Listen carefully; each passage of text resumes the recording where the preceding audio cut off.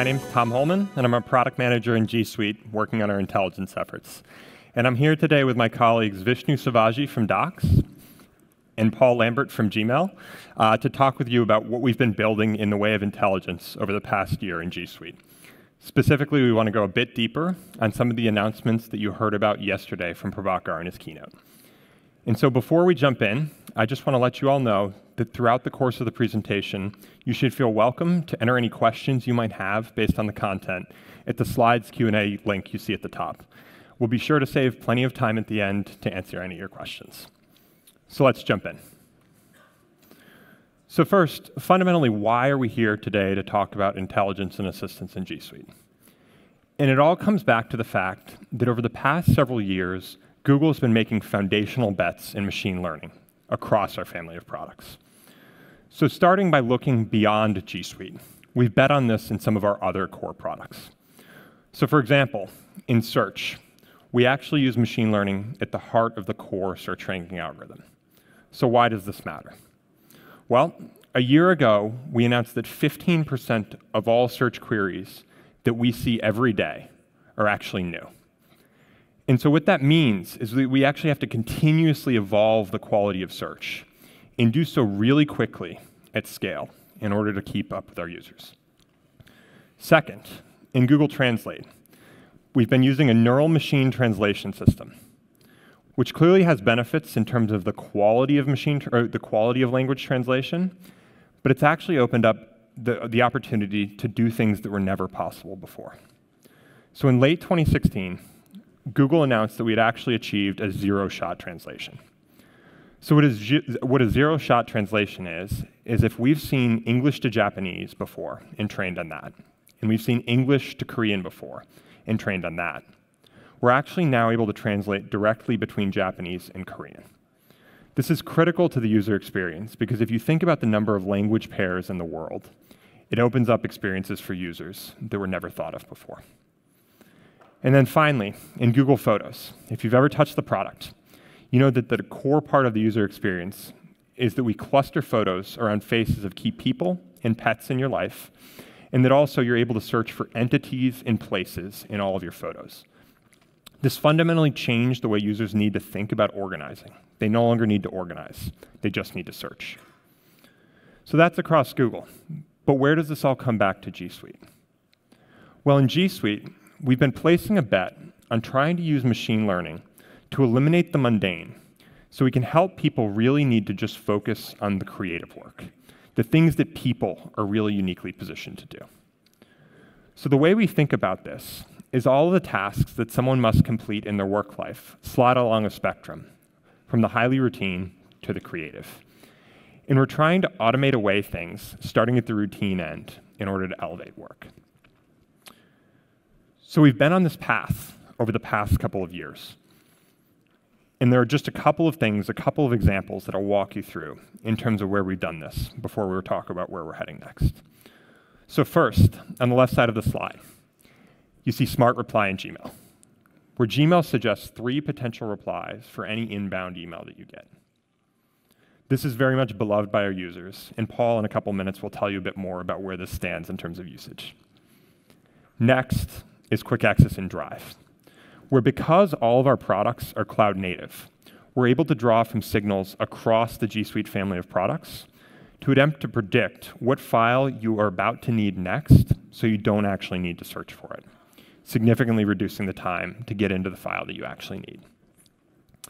And then finally, on the right side, is Answers in Sheets Explore, where we let any user ask a question of their data set just like they would ask another person, equipping users to do analysis they did not know was possible based on Google's strength in natural language processing. So we've done all of these things, and what I want to point out is that based on some of Google's core strengths, we fundamentally believe that we're really well positioned to invent the next breakthroughs beyond these. So specifically, we see Google as actually having three key advantages, which will play out in some of the things you hear about from Paul and Vishnu. So first, all of our products are cloud native in G Suite. And what that means is we're able to use all of your latest and greatest data when delivering a key insight or helping you take action. You don't need to worry that things are stale or out of date on your desktop.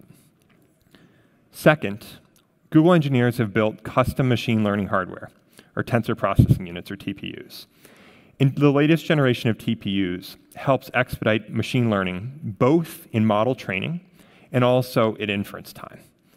And in the former, that means we can actually innovate faster because we, we can reduce the timeline to train a model. And in the latter, it means we can squeeze the latency out of the product experience to deliver something that's buttery smooth. You'll hear more about that from Paul as well. Buttery smooth. And then finally is Google Scale, where we recently had seven, and I'm assuming you heard earlier this week that we're about to have eight products with over a billion users. And so why does that matter? Well, the process of building and scaling products to this level means that Google's engineering team has gotten extremely good at squeezing resource costs out of computationally expensive operations, which machine learning has in spades. So the question becomes, where are we heading next with this in G Suite? Where are we heading with intelligence? We've done a bunch of research with our customers and users, and we keep coming back to the thinking that the core user journeys for productivity in the workplace really end up clustering around three things. So specifically, they cluster around writing or content creation, reading or content consumption, and the meeting or collaboration.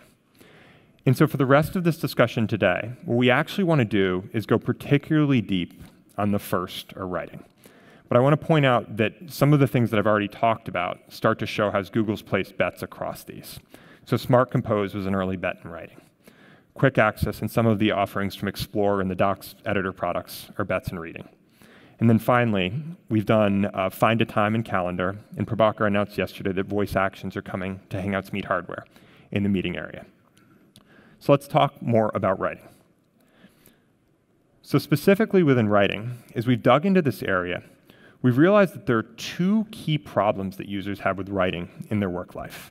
Specifically, it takes far too much effort to do the amount of writing that people need to do in their daily jobs as knowledge workers. And then second, it's far too hard to write well. Even if you put in the time, it's an error-prone process. So over the next couple minutes, you're going to hear, about, hear from my colleagues, Paul Lambert and Gmail, around how we're trying to reduce the effort with Smart Compose and Gmail. And then after Paul, you'll hear from Vishnu Sivaji around how we're trying to help raise the quality bar with Grammar and Google Docs. And so with that, I'd like to hand off to Paul to talk with you about Smart Compose and Gmail.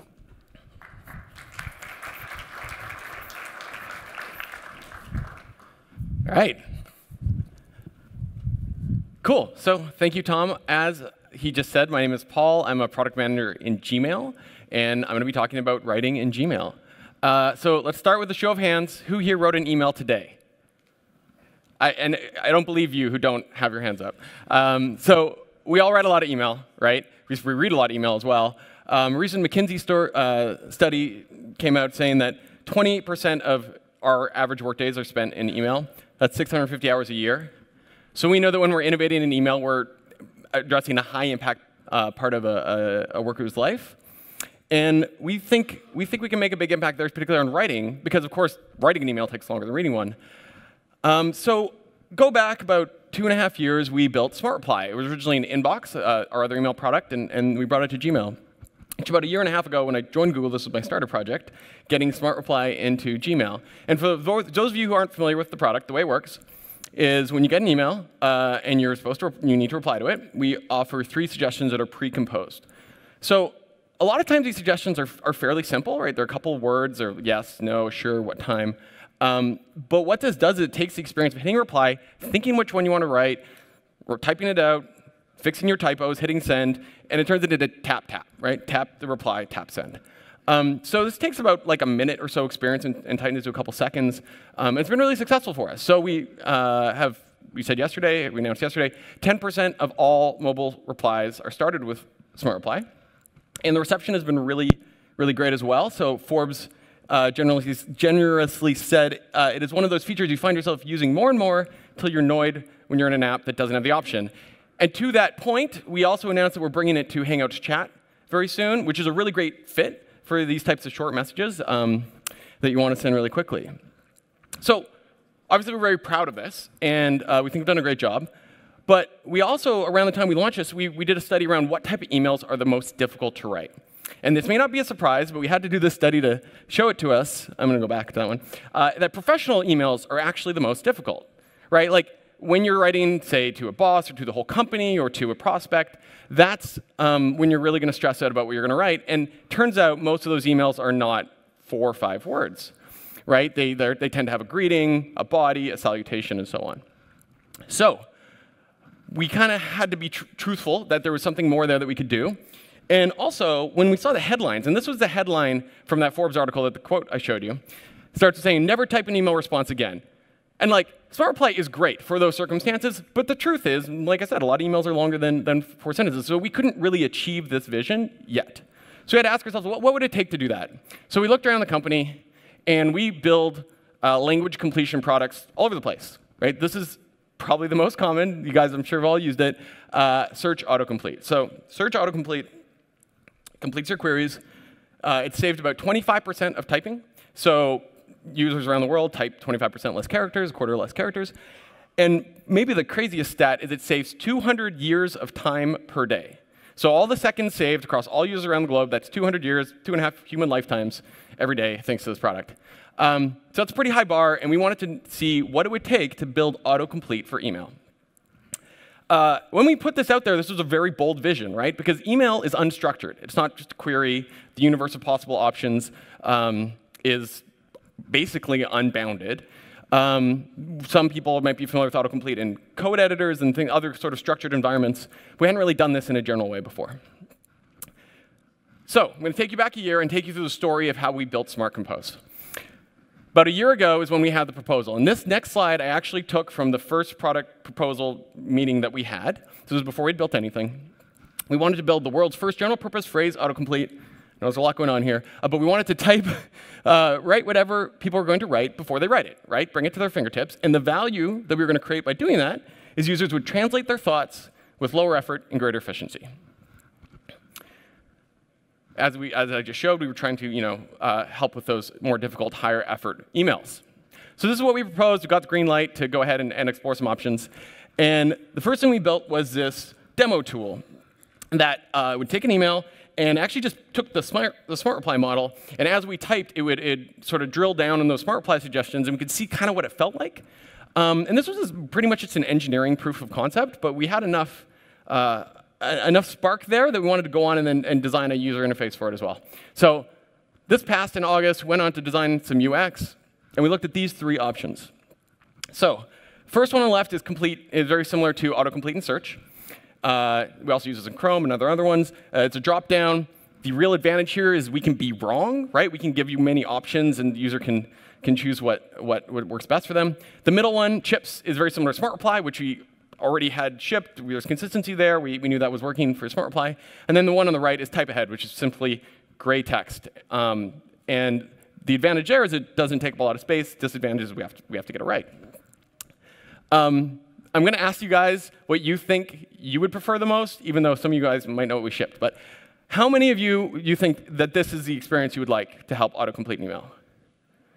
Okay, I got one hand, two hand. How many people would like chips? That's actually a surprising number. It's like maybe 10%. And then type ahead on the right. The majority of people. So it actually, that, so I'll tell you what the actual results were. This was like so-so. Um, the main cost there was that people were reading all three suggestions, so it was taking them out of the flow of writing an email, um, and, and that actually sometimes slowed them down, which is obviously very counterproductive. This one bombed. So chips was really, really bad because what happened was people would stop writing and read the suggestion and then move their mouse. So it was just this very interruptive experience. Um, but type ahead worked really well. When it was right, people felt like they could accept it, and when it didn't, they kind of it kind of just got out of their way. And so the cost of being wrong was really, really low. Um, so having proved the engineering proof of concept and and finding UX that we believed in, we then uh, moved forward to actually build it out, build it out in product. And the first way we did this is through a Chrome extension, and that's a bit of a detail, but it made us move quicker. Uh, and this is a screenshot from our actual first Chrome extension and uh, the Smart Compose experience. So one thing I want to talk about now is just very quickly sort of the product development process. Right, so it's fairly simple, um, but it's hard to execute properly. Uh, understand the user problem, define success, and then iterate. And I've already talked to you about what the user problem was, right? We know people spending a ton of time in email, they're struggling with professional email. And we talked about design, build, evaluate a little bit. Uh, we designed some stuff, we evaluated it in user studies. I kind of skipped over the second part, and that's really important. And turns out in Gmail, that's really tough. Uh, because, like, do you want people to spend more or less time in, in Gmail? Um, so I would actually, I'm curious, because I looked at the, the list of attendees here. There's a bunch of PMs and other people in this room who I probably spent a lot of time thinking about success criteria. If, if you had to, if any, I want somebody to shout out, if they had to pick a success metric, like one success metric for, for Gmail, for an email product, what would it be? Is it time in site, email sent?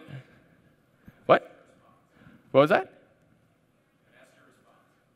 Faster response? Faster replies, faster response. That's a pretty good one.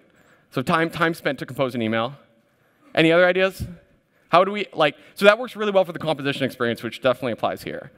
Um, if we were to choose sort of one general purpose success metric for Gmail, what, what do you think that would be? Well, how would you define accuracy? Rapid accuracy was the answer. Yeah.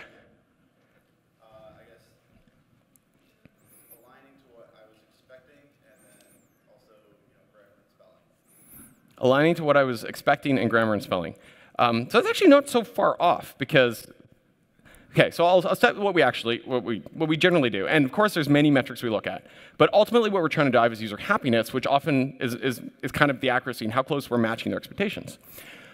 So this is one survey. It's a satisfaction survey. It's pretty straightforward. It says, how satisfied are you with this product? Um, or in this case, this is what we actually did for Smart Compose, the text suggestions. Five-point scale ranging from very dissatisfied, somewhat dissatisfied, neutral, and two, two positive scores. Of course, this isn't our only success metric, but ultimately, we're trying to make happy users, and this is kind of the best way we know right now to just measure that directly. So we did this initial version, and we were able to now start using that success metric because uh, we had enough users we could run these surveys, right? It wasn't just about a couple people in the lab like with the UX studies. So we found 42% of people were very or somewhat satisfied. 30 something were in the middle, and there was like about 20% in the dissatisfied bucket. Again, show of hands if this is good. Would you, would you launch this product? Yes? Come on, it's twice as many people satisfied as dissatisfied. Yeah, so this is not above bar. Generally, the bar that we're looking for, oh, that one didn't come up. Anyways, the bar we're looking for generally is around 70 to 75%. So this had a long way to go, and, and definitely less than 10% dissatisfied. Um, so this had a long way to go, but we knew that we got a lot of learnings out of the first experience, so we could act on. So here are a couple key learnings. Once we learned that speed matters, right? This sounds obvious, but it was really it came up very clearly in the feedback that if you're writing and you're going to suggest as a response, we have to be there as quick as you're thinking. Because if we're slow, it, we're just getting in the way. Second, triggering. What we mean by triggering is how often we show a suggestion. That when we're, I feel like I just got louder there. Okay. Um, when we get that wrong, it can be very distracting. So the quality bar had to be, be high, but when we actually had enough confidence to show you something. And today in the product, we really bias towards only showing a suggestion when we, we're pretty confident that you're going to use it. Longer suggestions are more helpful. Again, this is obvious in retrospect, it wasn't at the beginning, which is that the more text we can insert, the more value that is, the more time it saves. So we cut down on sort of the, the number of short suggestions, single word suggestions that we offered. Finally, personalization is super helpful, right? People expect it to sound like them. And then third, we needed great onboarding. So the user experience of Smart Compose is you hit the tab key to accept the suggestion. Very natural once you learn it, but it's not sort of the first key you'll try. So people would just sort of struggle with how to use the product. So we did that, and we built internal version 2. This is an example of the onboarding we came up with. So it shows a little tab icon on the bottom, shows you how to, how to use it. We implemented all those other things I mentioned, put it internally out in February, and we did another survey and I won't make you guys guess what it is, but our results were significantly better, dramatically better. So 74% is basically at our launch bar. Uh, so this was a big turning point for the project because now we knew we really had something here. That we and we also something I didn't show on the screen. We had some really passionate users, like random people from out the company emailing us and saying really like really great things. Um, that they were saving them time, it was magic, things like this. I mean, truthfully, we also had people who weren't happy with it, but um, but they were in the minority. Uh, so this is when we shifted our focus to productionization. So what would it take to make this really scale to Gmail and have the quality bar that we hold for a, for a product that has over a billion users? And uh, what that meant was moving on to more dedicated hardware. And this calls back to the TPUs that, uh, that Tom was talking about. So move to TPUs to really hit on that speed uh, bucket and then really prove, focus on improving performance and quality. And what I mean by quality is that if we're just training on all the emails that we have in, in the consumer emails we have in the system, you get some weird artifacts. Like, for example, one of the most common closings we had, and want to, want to guess this, what do you think is the most common closing if you just let the model predict how you're going to end an email? It's sent from my iPhone. so we had to get, we had to get rid of that um, obvious, for obvious reasons. But uh, anyways, so there was a bunch of small quality things, and uh, we, did, we did all that. I want to talk about the TPU impact. So in that first version, we were running on CPUs at inference. Um, we had, that was about 600 milliseconds of latency. And we knew from search and, and, and, other products that 100 milliseconds is really kind of the magic bar where when you're below that, it truly feels instant uh, to pretty much all people. So we wanted to get that below that. And we first went onto the TPU v1 because there, there were just more of them available in the data centers at the time. And we moved to v, v, uh, v1 for, or for our second version product, we moved to TPU's v1, and it actually got us down to 80 milliseconds. This was a huge win. So this, combined with the survey results, knew we had pretty much a production-ready product. But what's even more amazing is we've recently migrated to v2, and we're actually down at 40 milliseconds, which is pretty crazy to think about, that we're running a model of this complexity at this scale at 40, 40 milliseconds latency. So when you use Smart Compose today, that's you're running on TPU v2s. Anyways, back to our third version, did all that stuff, and our satisfaction was 82%. So this is when we felt like, okay, we've got something great here, let's, let's give it to the world. And in May, at Google I.O., Sundar was up on stage, and at the beginning of the keynote, uh, in the first 10 minutes, announced uh, Smart Compose. And it was really exciting for all of us who worked on this to see this. And not long after that, we opened it up to our G Suite trusted testers. Um, the initial reception has been, has been really warm. So VentureBeat said it's basically like real-time autocomplete for your entire emails, which if you remember that slide I had from the first product proposed, that was kind of our vision. So it was very, very uh, rewarding to see that we were able to follow that through all the way to landing.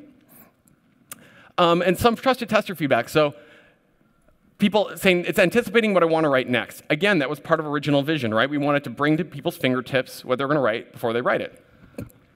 And this next one um, is about actually non-native English speakers, which is something that's come up time and time again in this product, is that uh, non-native English speakers really find it beneficial. So this person said, it's one of the best things that's ever happened to me. It completes my sentences. I can express myself without having to Google sample sentences, um, which of course is also really rewarding. And one thing we didn't really realize, kind of sitting where we do, is that there's almost two times as many people out there uh, using English at work who uh, are non-native English speakers than native English speakers. There's twice as many ESL, ESL speakers. So, just to recap of how we grew this product and our satisfaction scores over time. We started at 42%, our internal V1. We got up to 74. That's when we thought we knew we had something on our hands that was worth shipping. We iterated. We got it to 80, 82. And now, actually, just this week, we got back our trusted tester surveys, which are the latest version of the product. And this is the version that you guys will all get when it's turned on for your accounts. And our satisfaction score is up at 89%, which we're super happy about. Thank you. So I'm going to just give you a couple headline features so you can all look, know what to look forward uh, to. So start with Smart Compose completes common phrases. This was sort of the value prop of Smart Reply, but we're generalizing it, right? So this might be, please let me know if you have any questions. Hope to hear from you soon. Things that you've written hundreds and hundreds of times before, and you don't ever have to type them again. You're welcome. And uh, so, not, but it's not only common phrases. It'll, it is also context aware. So what we mean is that it'll learn from the subject, the previous emails, if there are previous emails, sort of the, the domain of the conversation. So in this example, say lease ending, uh, hey Cameron, I'm George, I'm apartment. It knows how to predict end of the month because it kind of knows you're talking about apartments. And if you think about it, there's thousands, actually, many, many thousands of these sort of domains and contexts that the model is able to learn because we are able to uh, train over large data sets. Um, and while this example is, I guess, kind of consumery, we also uh, work pretty well in enterprise, as you can see from our uh, trusted tester scores. So, context aware. It also brings in personal information. This example is if you have your home and work address set in Google Maps. So seems like a simple feature, but copy pasting your address and typing that out, making sure you get it right, is, is kind of just a really concrete pain point. People really like this. So as soon as you say my address, our work address, our office, we'll bring that address right in, and uh, you can just hit tab to have that inserted, just as if you had typed it. And finally, we learn how you address your colleagues. So I might be have a colleague named Daniel, uh, but he goes by Dan. we'll pick that up. We'll put that as a salutation when you start your emails. Um, and this works for uh, not just the names, but also like hey, hi, hello, and so on. So we go. That's Smart Compose. It is coming to all G Suite customers in the next couple of weeks. Um, this is sort of a gift that kind of brings it all together. It was in the keynote yesterday. And if you have any more questions, or if you have any questions, I guess I haven't taken any. If you have any questions about how it was built or uh, what you, you can expect from it, we're going to have QA at the end. So with that, I'll hand it off to Vishnu. Thank you. Thanks.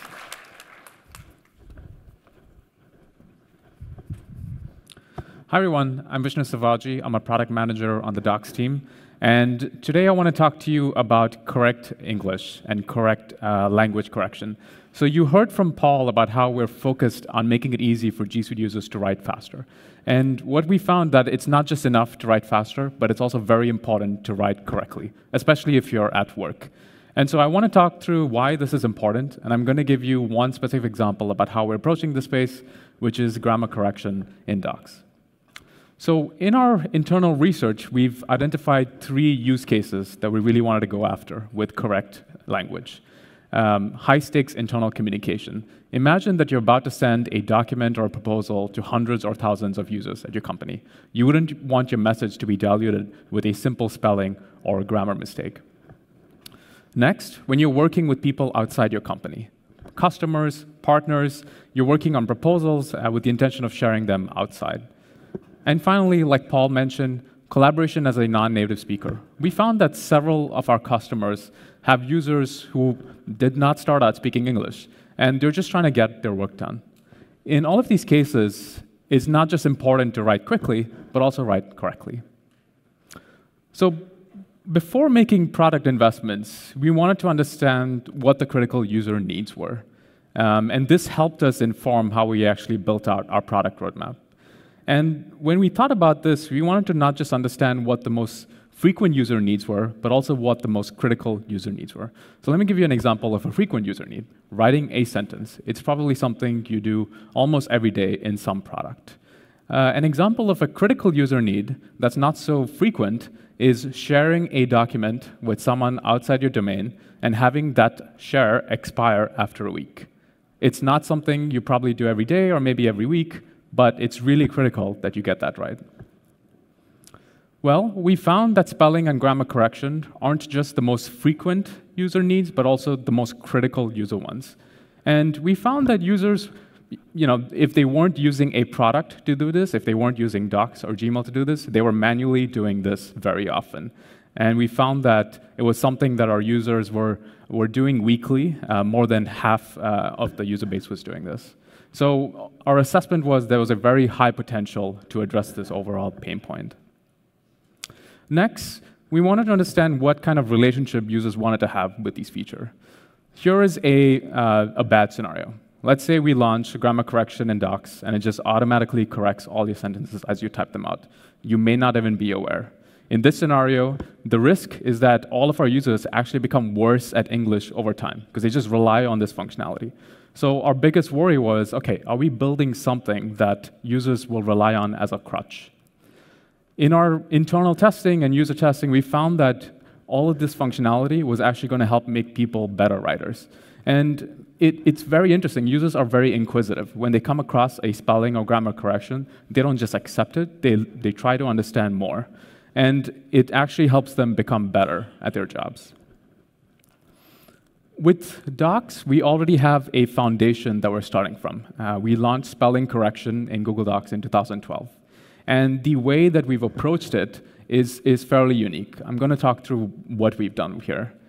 The neat thing about the system is that it leverages the power of Google Search, and in particular, a product known as the Googlebot. Googlebot is Google's web uh, crawling bot. And crawling is the process by which Google discovers new pages or discovers updates to existing pages on the web. And we then take this information and add this to the Google index. So what does this mean for spelling in Docs? Well, what this means is that our suggestions are contextual and they get better over time. And let me talk through how. In this example, you'll see that I have a simple sentence. It's grammatically correct, but there are two spelling mistakes. And the interesting thing is that it's the same spelling mistake at the beginning of the sentence and at the end of the sentence. And we are smart enough to figure out what the right spelling should be in each of those cases. And you'll see that the two suggestions are actually different. And this is pretty subtle. If you happen to use docs and you just write, you probably don't even realize that this is what's going on. And this speaks to the power of leveraging Google search uh, for this product. Next, you'll see that spelling suggestions are even noticed by docs if the word that you've used is already in the English dictionary. In this example, isle, as in I-S-L-E, is already a word in the English dictionary. And several spell check products out there will just stop. They'll be like, okay, this sentence contains all words that are words in English, so I don't need to correct anything. What we are doing is we not only look at the words, but we look and understand, okay, is the usage of the word correct in that context? And so here we're able to suggest aisle as in A-S-I-L-E. Same pronunciation, different spelling, and that's the right word. And finally, our suggestions are constantly evolving. Uh, any language in the world is evolving every day. We learn new terms and they get added to public knowledge.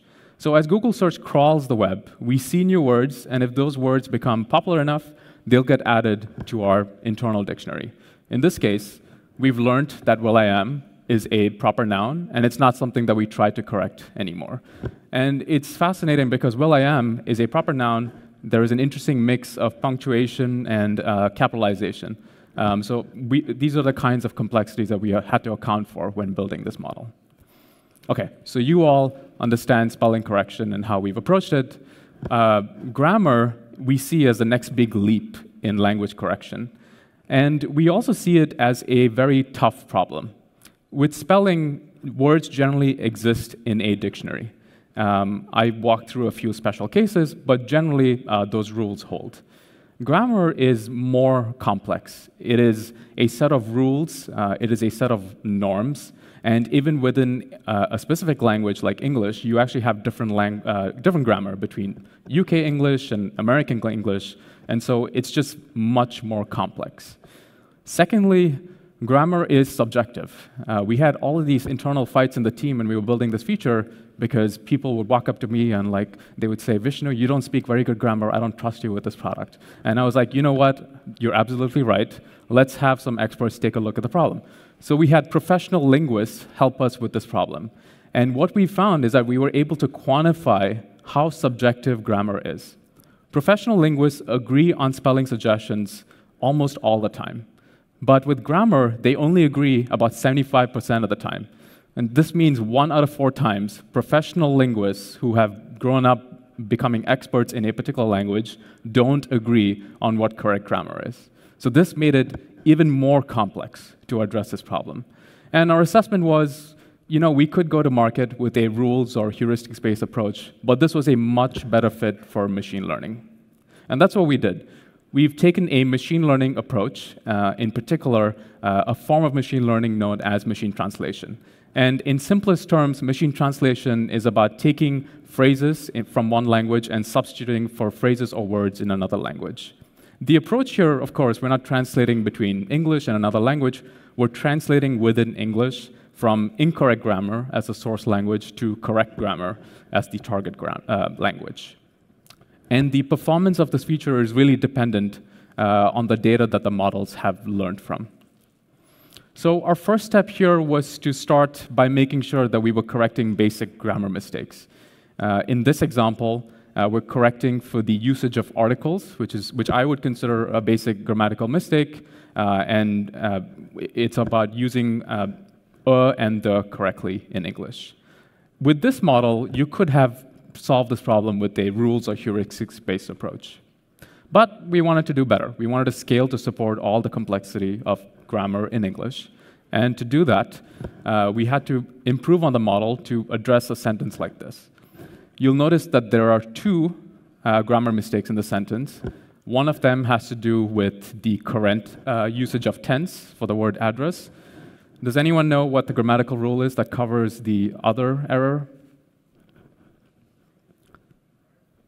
Okay, so it turns out even I don't know this. Uh, and the amazing thing about grammar is you don't need to understand it, but it's a rule that governs the usage of clauses in English. And if, if I recall correctly, it's about the subordinate clause. It's very complex. I don't really know grammar, uh, as I already said. So we had to scale to support this. And we in the team had a sense of, you know, we felt like the feature was improving but we really needed a way to validate that all these improvements were actually working. And so we took a process that was fairly similar to what Paul talked about. We started with a basic model, a model that could correct basic grammar suggestions. And then we rolled it out to more users at Google, uh, users who, were, who had previously not even uh, been exposed to the feature, and then we asked them what they thought. We asked them questions like, how satisfied were you? Did you find any uh, errors that the model made? Can you tell us examples where the model worked really well or really badly? And then we took this data and we incorporated uh, uh, this data into training a new model. And when we did this, we were very intentional about rolling out the model to a new set of users at Google who had never seen the feature. And the reason is because we found that features uh, like grammar have this problem where the first users are very biased by their lower quality experience. And so we found that we couldn't actually incorporate their feedback anymore. We had to expand to a new set of uh, users at Google. And so we did this uh, a few times. And in parallel, we also wanted to get the user experience right. And the interesting thing with machine learning features is that user experience is often not just as important, but more important than the models. Because the interaction and the satisfaction with the feature is highly dependent on how users are exposed to the functionality. And again, Paul talked through how they played with three different user experience options for the feature. Grammar um, was fairly simple. Uh, we settled on two approaches. The first one is contextual suggestions. You'll see blue underlines in docs, and those um, mean grammar suggestions. We also noticed that we had a separate set of users, and these were more power users, um, like people in communications or marketing. And they had a different method of writing English. They would write a very long document, and they would switch explicitly into a language correction mode. And so we built on an existing spell check tool, revamped it, and this basically allows you to bulk uh, accept or bulk reject suggestions in your document. The powerful thing about all this is that it's built right into Google Docs. You don't need to install uh, another tool. All your data stays within G Suite. And this means that it's covered by the G Suite terms of service. So it's reliable, safe, um, and meets all of your privacy expectations. Okay, so to recap, we had a model that worked. We had settled on a user experience, and Googlers were telling us amazing things about the product. We wanted to make sure that we weren't just tailoring the model to Googlers.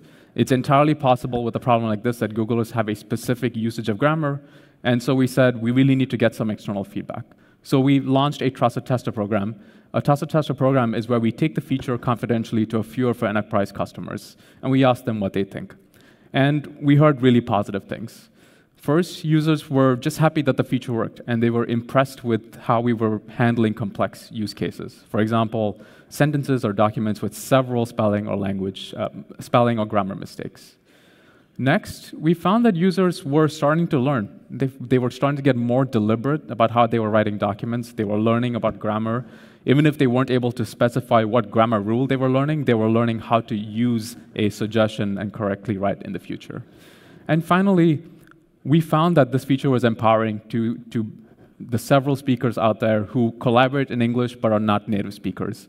And this is one that I'm personally very excited about, uh, the fact that we're bringing uh, a message of empowerment uh, to people at work.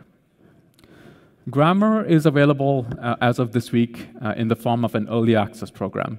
If you go to that URL, g.co slash grammar EAP, you can sign up uh, for your domain to be part of this program. And we are collecting more feedback to help make this feature better. To recap, Smart Compose and grammar suggestions are just two ways in which we're using machine learning to help our users write with lower effort and higher quality. Stay tuned for more to come.